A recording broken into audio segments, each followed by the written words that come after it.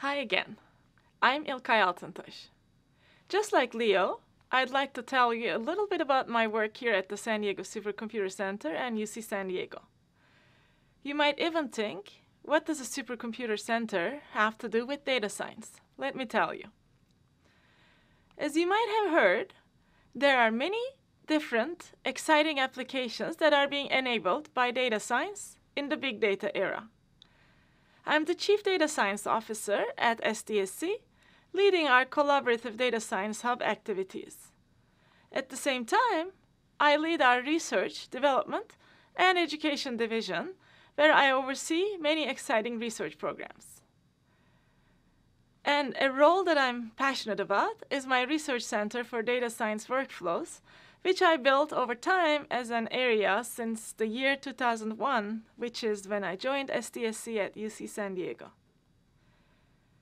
In terms of some of my education activities, I'm the faculty co-director for the Master of Advanced Studies program on data science and engineering here at UC San Diego, in which I teach a capstone project course. I also work as a lecturer for the Computer Science and Engineering department and have done big data courses as part of other online and offline course programs. What is common to all these roles is that I work on interdisciplinary research. As a part of my core research, development, and teaching activities, I work on building methodologies and tools to make big data, data science, and computational science useful to dynamic, data driven scientific applications. I work with many UC San Diego centers in these areas. My colleagues and I work on many Grand Challenge data science applications in all areas of science and engineering, including genomics, geoinformatics, metro data science or smart cities, energy management, biomedicine, personalized health, and many others uh, as a part of our data science hub. What is common to all these applications is their unique way of bringing together new modes of data and computing research. So it's all about collaboration and what the Supercomputer Center brings to it as the computing and data management expertise. So what do I do on a regular day is to think about how I can get a group of very smart people collaborate to solve data science challenges. I worry about questions like how do we close the loop on data science methods, tools, computing and data systems, and domain experts? These questions also get translated to research challenges and toolboxes for data science by my research group. Our main goal is methodology and tool development to build automated and operational workflow-driven solution architectures on big data and high-performance computing platforms. This applies to many scientific disciplines. Let me tell you a project we work on as a part of many of these applications. It is for wildfire analytics, which breaks up into two components, prediction and emergency response.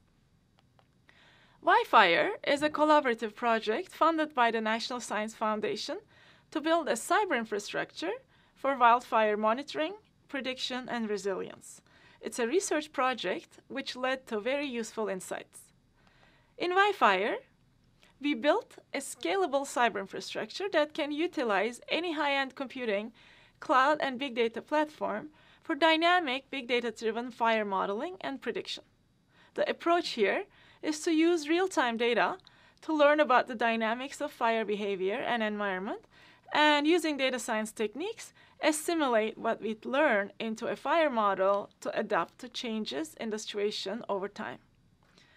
Here, data science methods and workflows were used for system integration and dynamic application scalability. All the data, models, and computing systems being used were there before WIFIRE, but a programmable system integration that can match the application needs were lacking.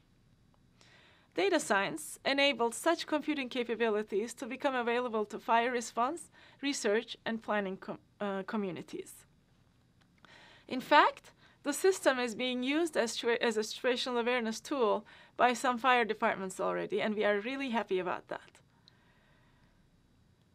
But WIFIRE represents a wide range of applications where real-time big data can be assimilated with modeling and simulation tools for better situational awareness and dynamic decision support.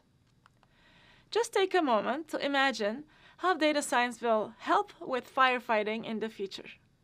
Many streams of data will come together in 3D displays that can show all the related information along with weather and fire predictions that would be a great application of data science uh, with societal impact.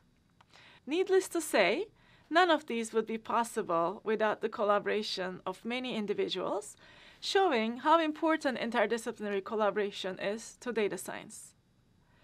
Hope you enjoyed hearing about what I do, and I'm looking forward to sharing some of exciting data science use cases with you over the next 10 weeks.